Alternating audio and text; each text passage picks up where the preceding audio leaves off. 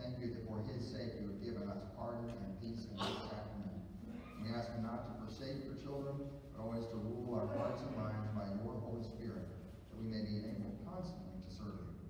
Through Jesus Christ, your Son, our Lord, who lives and reigns with you and the Holy Spirit, one God, now and forever.